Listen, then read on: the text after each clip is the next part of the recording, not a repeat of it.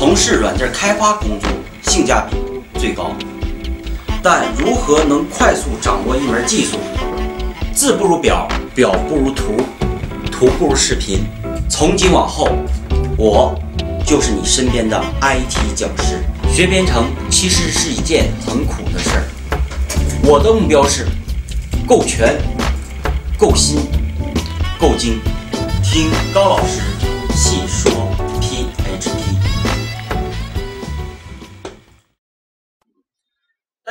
家好，我是熊联的讲师高洛峰。大家好，我是妹子。妹子，上节课呢，咱们认识了一下正则表达式，对吧？正则表达式就是由一系列特殊字符组成的一个字符串，对吧？但是这个字符串它是有一定规则的，对吧？那它需要像编程一样去编写这个字符串，才能编出一个模式来匹配一系列的事物，是不是这样的？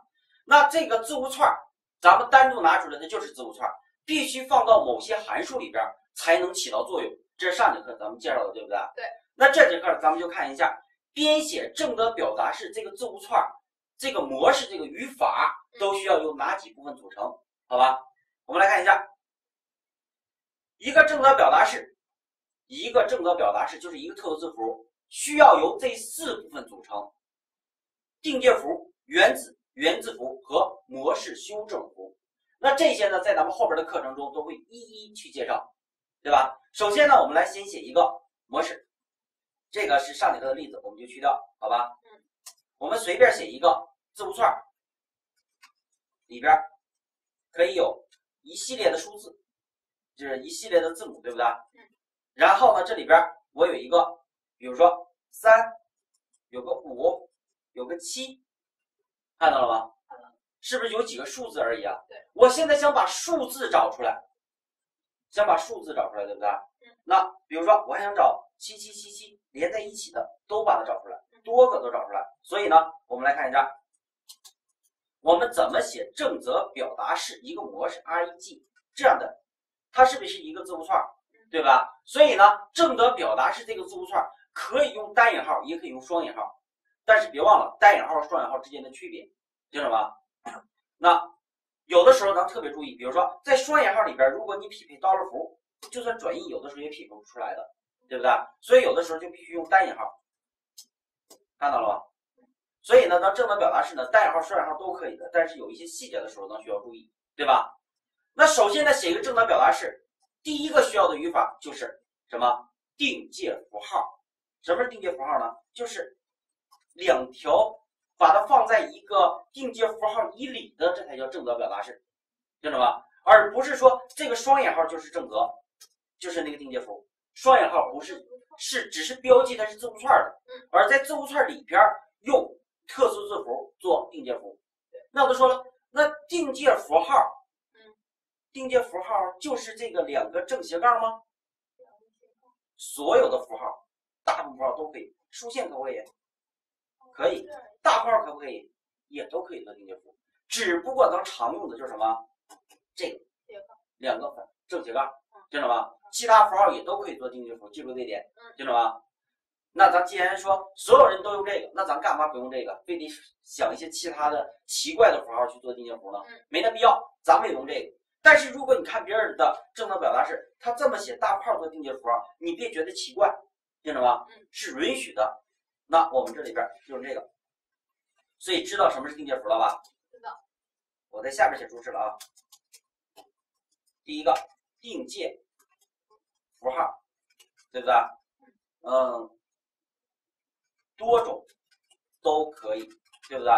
常用为两个斜线做定介符号，对不对？对。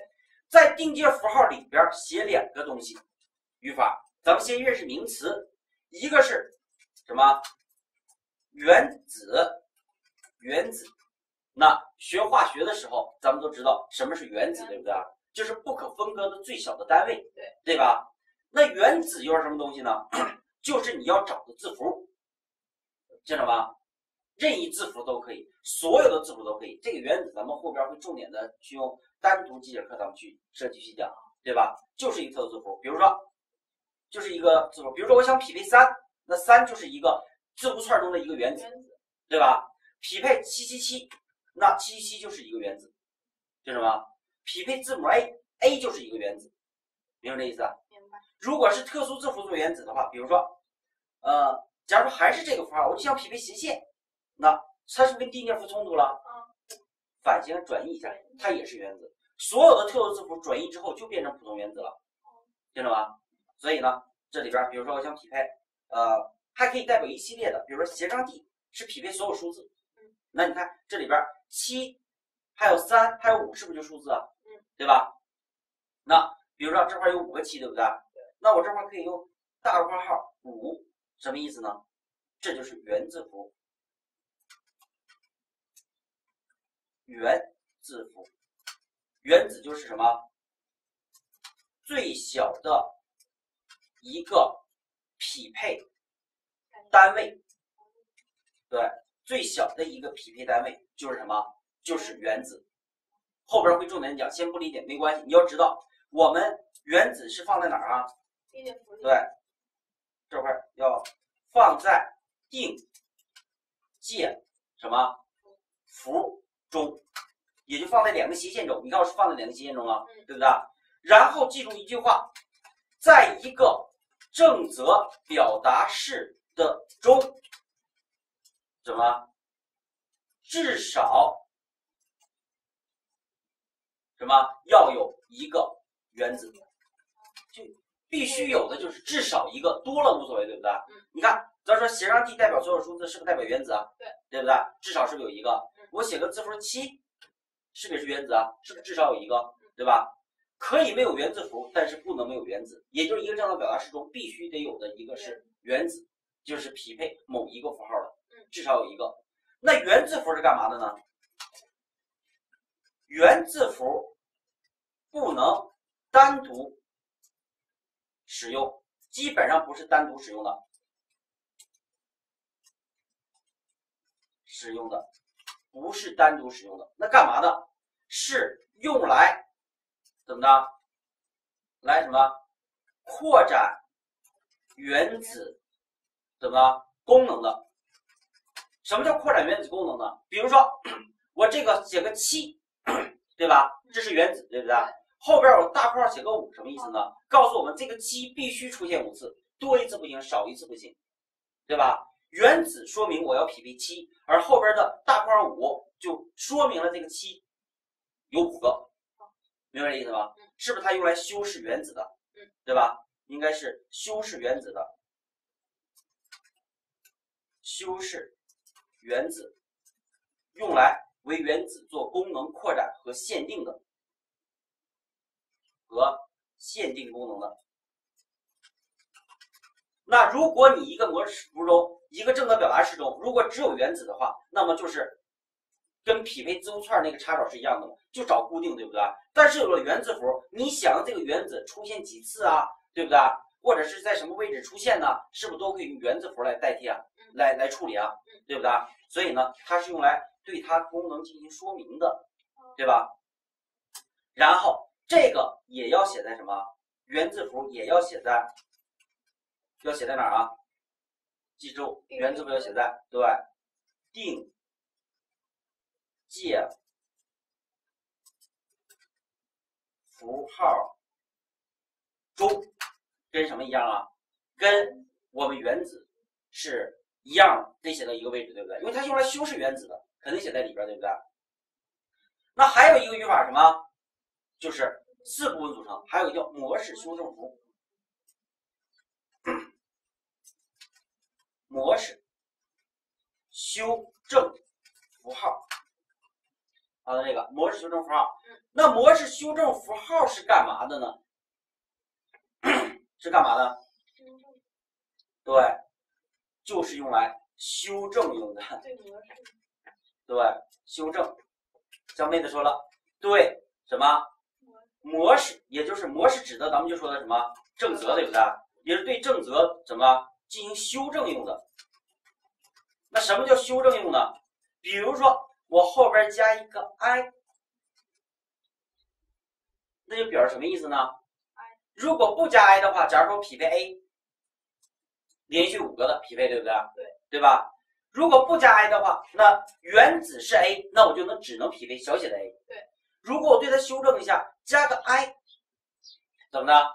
就让它匹配 a 的时候就不区分大小写，是不是也是对功能进行扩展呢？进行修正啊，对吧？那原字符是对某个原子进行扩充功能修正的，对不对？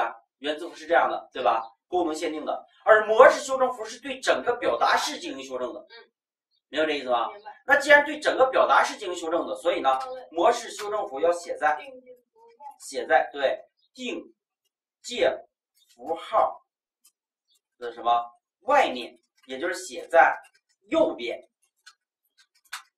当然，不同语言的话，这是不一样的。比如说 JavaScript 的定界符也是这么做，听懂吗？但是就是模式修正符也是这么做，但是模式修正符呢没有这个功能权，功能多，对吧？P R P 的模式修正符还是很多的，这个后边咱们都会重点的去处理。那这几部分 就组成了什么？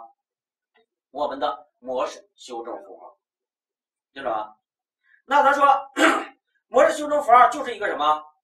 是不是就是一个字符串啊？对吧？那这个字符串要怎么才能使用啊？放在函数。对，放到函数中才能使用，对吧？所以呢，咱们这节课只是来说明一下它的语法由这四步组成的。那么下节课咱们就写一个函数来处理这个正则表达式，来看它功能，好吧？嗯。然后咱们再分别介绍原子、原子符和模式修正符，还有定界符，好吧？好，谢谢大家。那这节课呢，咱们就先暂时介绍到这里。下节课咱们继续介绍正则表达式，好，再见。